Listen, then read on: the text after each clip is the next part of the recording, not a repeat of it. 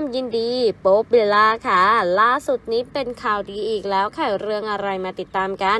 หลายท่านคงจะทราบดีนะคะว่าสำหรับทั้งคู่เนี่ยกลายเป็นคู่จิ้นที่แฟนๆยังติดตามหนักมากแล้วค่ะ ไม่ว่าจะทำอะไรก็ปังตลอด และที่สำคัญในเรื่องของบุพเพสันนิวาส 2 เข้าฉายตั้งแต่ 28 กรกฎาคม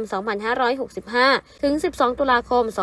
2565 ค่ะ กวาดรายได้รวมทั่วประเทศไทยไปมากถึง 392.43 ล้านบาท แถมยังครองสถิติภาพยนตร์ที่ทำรายได้สูงสุดในประเทศไทย ประจำปี